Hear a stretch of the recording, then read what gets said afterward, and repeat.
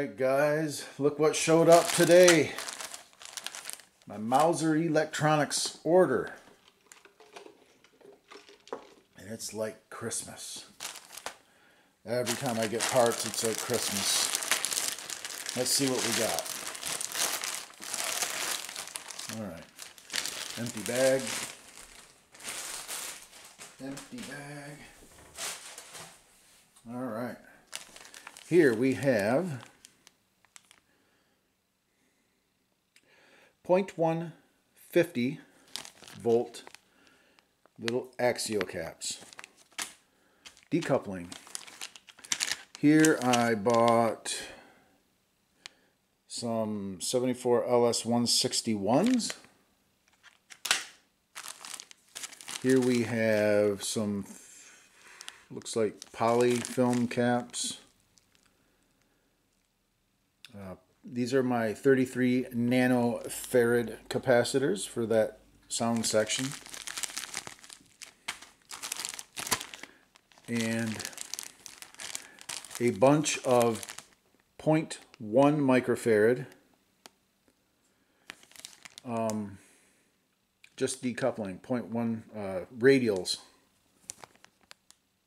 I bought like a hundred radials and a hundred axial ones. So we got our caps. Now we can put that computer space together. That is exciting. So yeah, it is Tuesday night at about almost 8 o'clock. So yeah, tonight it's not happening. So we'll be out tomorrow morning to put that together. I just finished a Domino Man repair. That video is actually uploading as we speak. And uh, yeah, so we'll put this together tomorrow. And hopefully I'll have that part four video uploaded tomorrow for you guys. So we'll see you then. What are you guys doing? What are you doing? Hi, baby. Boo Boo, where are you at? Oh. Hey, Boo. Hey, Boo. These guys are just hanging out.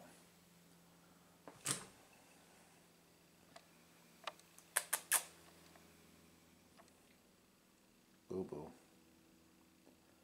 Hi, Boo Boo. All right, guys. Y'all have a good night, and we'll see you tomorrow. We'll put that uh, sound section together and have us some computer space with full sound tomorrow. See you then.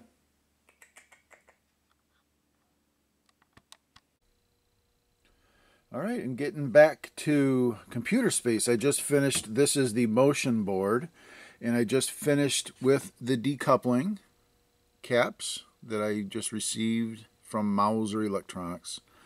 So I got them all populated. And I did replace these two, uh, I had originally put 220 microfarad caps in all four spots here. But I changed these two. These two were originally supposed to be 100 microfarad, and I did change those to the proper 100 microfarad. So this board is good to go now. All I got to do, and unfortunately, these 0.33 or uh, 33 nanofarad caps that I bought are 630 volt caps. Unfortunately, I mean that doesn't matter. I'm still going to use them, but they're just going to look goofy. I thought I thought I got 50 volt caps. I obviously did not get 50 volt caps. But it is what it is. They'll work. It's still 0.033 microfarad, so all right, I'll go ahead and get on that other board and then we'll be done with this. All right, and here's how it looks. We got all the decoupling in. I use the axial decouplers in this board. And then these big 0.033 microfarad caps, I stood them up on end so it looks decent. Oh, I forgot one right here. Okay, I forgot one right there. And that looks like it. So I'll go ahead and do that. Yeah.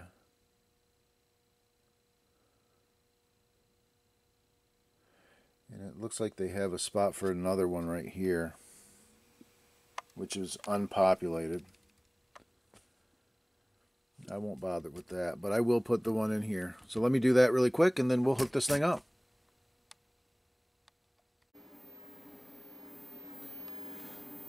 All right, I have this thing all put back together and I was just curious out of curiosity. I wanted to see what this thing drew as far as amperage once all of the proper decoupling and everything was put into this board. So I got it hooked up to this power supply and at 4.9 volts, 5 volts, it's pulling 1.8 amps of current. And I bet you this thing, I wish I would have done this test before I did all the decoupling. I bet you it would have been up over 3 amps. But that's what this thing, if it's got proper decoupling, should pull. 1.75 amps. 1. Point, yeah, one and a, one and three quarter amps which would have been absolutely fine to use that 3 amp power supply. But with bad decoupling, yeah.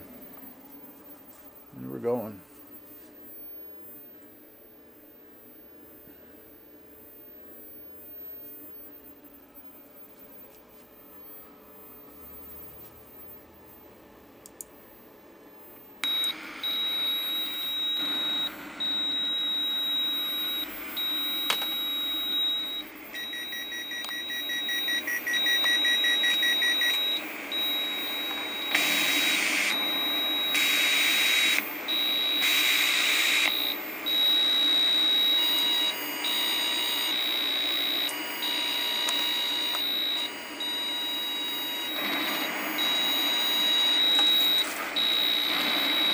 As you can see it, sound works just fine.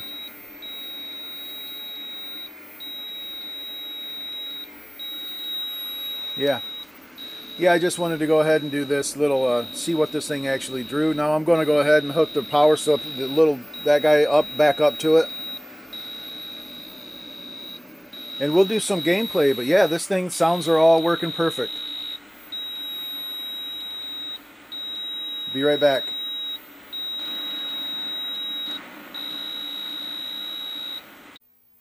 Okay, we're ready for some trying to do some gameplay.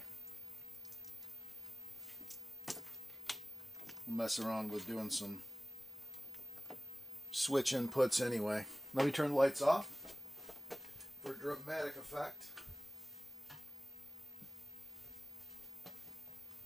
Okay. Zoom in a touch.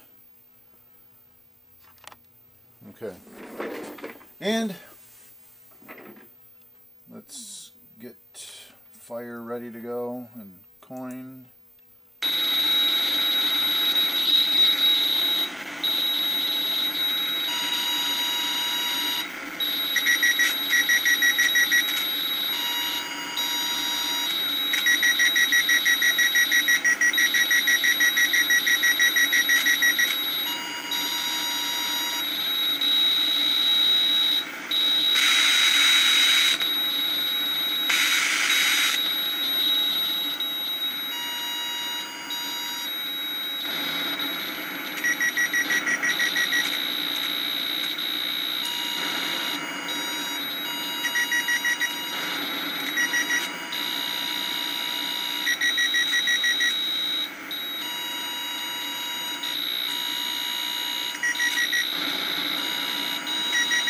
Damn it.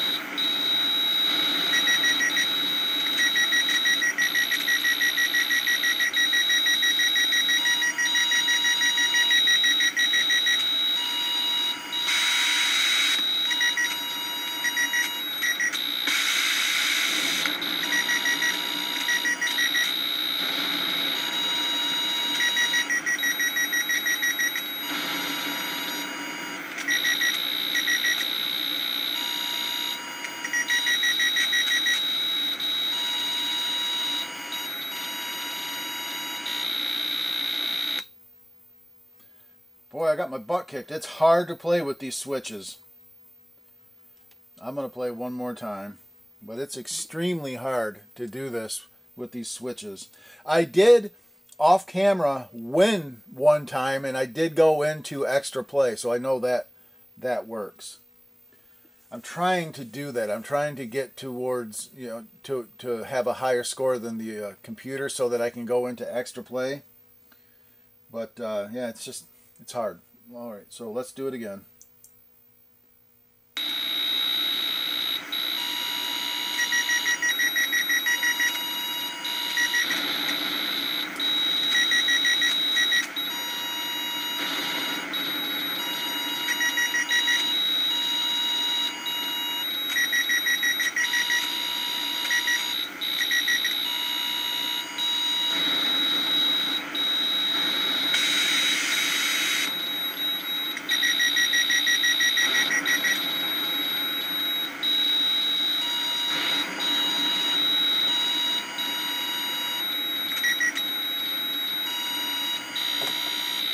I got to adjust the, uh, I believe it's the vertical hold is a little off.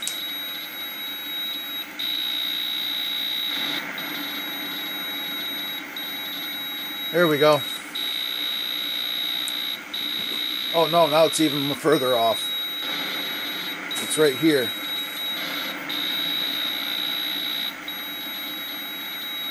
There we go. I was messing around with the controls a little bit earlier.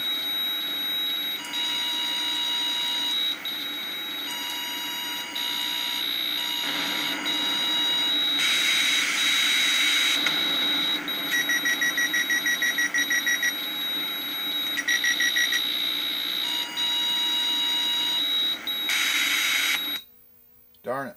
All right, I had to mess around with the controls that game. I'm going to play one more time. Here we go. Start.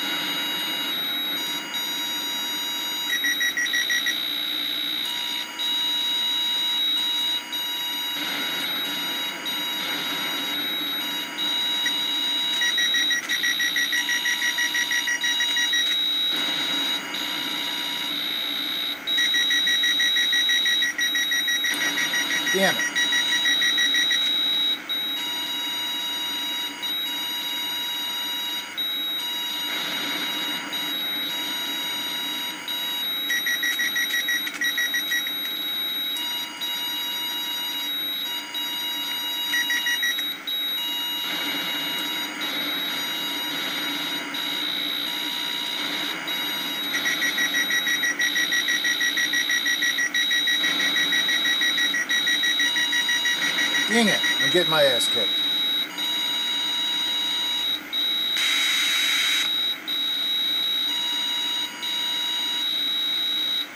Ugh. Yeah. I had it going for a minute.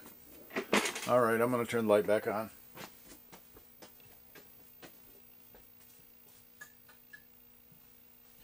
Yeah, I had it going for a second there, but I just couldn't keep it going.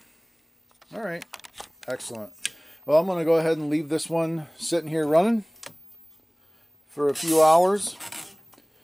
Make sure it continues good. And yeah, pretty awesome. So I will uh, let this one run, like I said, and call this good.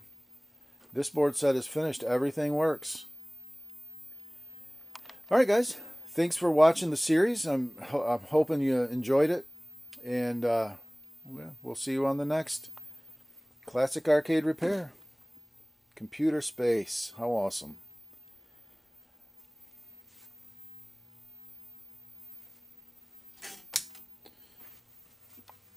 Yeah. Nice new caps everywhere. All right, guys. We'll see you on the next one. And bye for now.